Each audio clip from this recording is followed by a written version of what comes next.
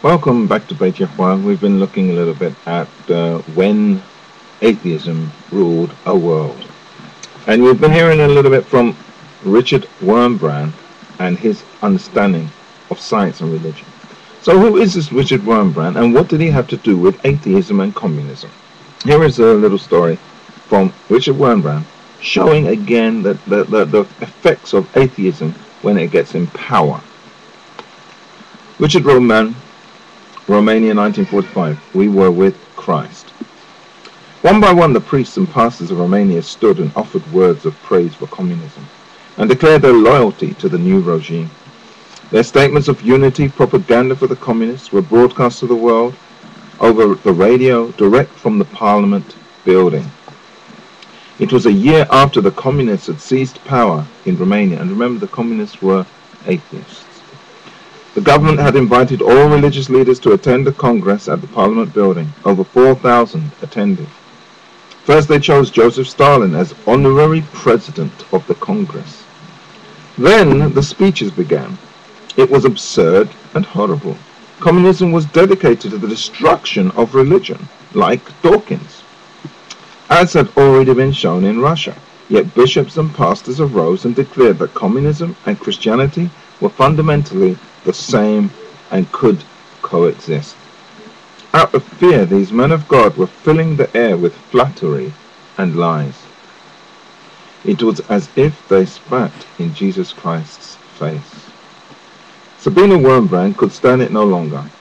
She whispered to her husband, Richard, stand up and wash away this shame from the face of Christ. Richard knew what would happen.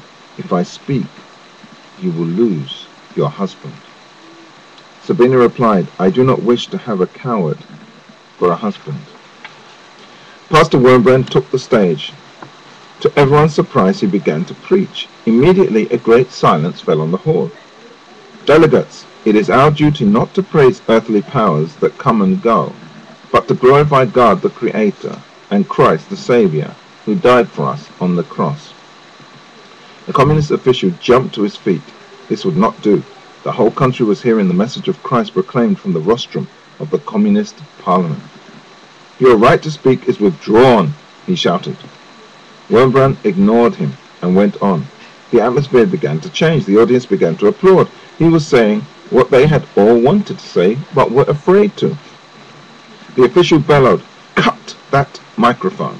Note the atheist in action. The crowd shouted him down.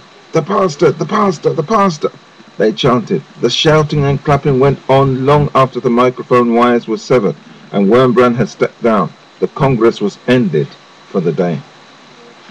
After this, Richard Wurmbrand was a marked man. On Sunday, February 29, 1948, Richard Wurmbrand was on his way to church when he was kidnapped by a small group of secret police. He tells what happened next. I was led to a prison 30 feet beneath the earth, where I was kept in solitary confinement. For years I was kept alone in a cell. Never did I see the sun, see sun, moon, stars, flowers. Never did I see a man except the interrogators who beat and tortured me. Never did I have a book, never a bit, a bit of paper. When after many years I had to write again, I could not even remember how to write a capital D. To make the feeling of isolation worse, the prison was kept completely silent. Even the guards had cloth shoes so that steps could not be heard. When we were first put in solitary confinement, it was like dying. Every one of us lived again his past sins and his neglect of duties. We had, we all had an unimaginable pain in our hearts, thinking that we had not done our utmost for the highest, for the one who has, who has given his life for us on the cross. I was in the depths of this remorse and pain when suddenly the wall of the jail began to shine like diamonds. I have seen many beautiful things, but never have I seen beauties which I have seen in the dark cell beneath the earth. Never have I heard such beautiful music as on that day. The King of Kings, Jesus, was with us. We saw his understanding, loving eyes. He wiped our tears away. He sent us words of love and words of forgiveness. We knew that everything which had been evil in our lives had passed away had been forgotten by God. Now there came a wonderful days, came wonderful days. The bride was in the arms of the bridegroom. we were with Christ. We didn't know we were in prison. Sometimes when we were beaten and tortured, we were like St. Stephen, who while they threw stones at him, did not see his murderers. At did not see the stones, but saw heaven open and Jesus standing at the right hand of the Father. In the same way, we didn't see the communist torturers.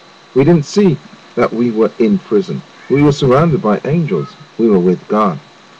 We no longer believed about God and Christ and angels because the Bible verses said it. We didn't remember Bible verses anymore. We remember that about God because we experienced it. With great humility, we can say with the apostles, what we have seen with our eyes, what we have heard with our ears, and what we have touched with our fingers, this we tell you.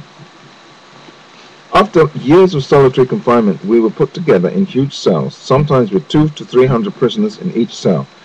I will not tell you the whole truth, because you could not bear to hear it, but this I will tell you. Christian prisoners were beaten, then tied on crosses for four days and four nights without interruption.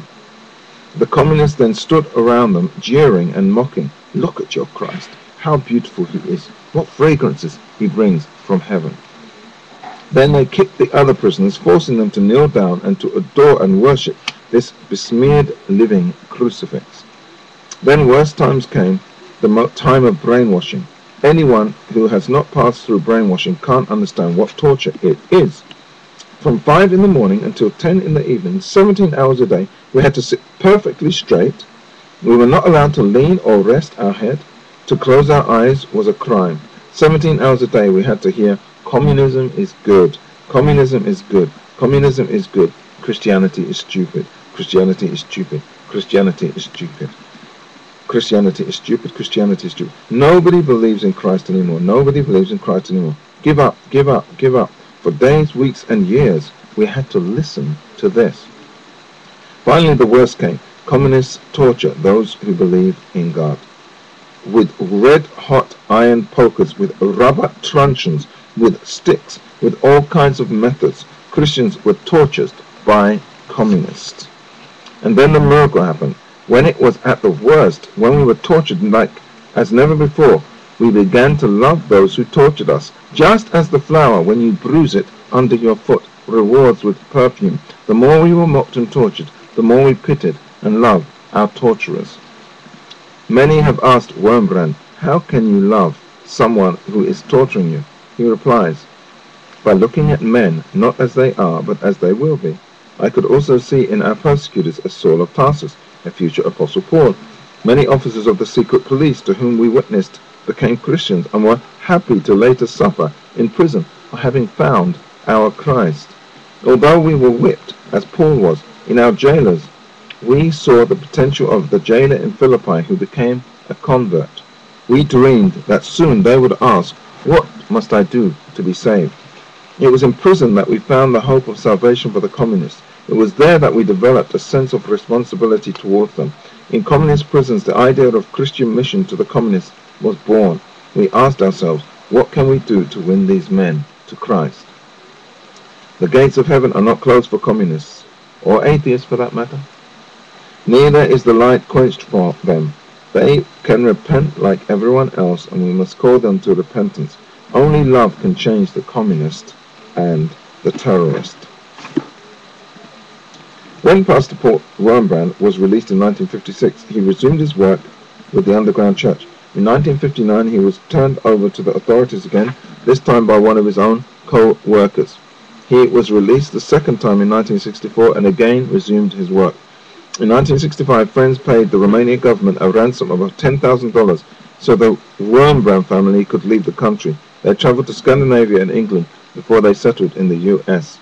In May of that year, Richard testified in Washington, D.C. before the Senate Internal Security Subcommittee, stripping to his waist and revealing 18 deep torture wounds.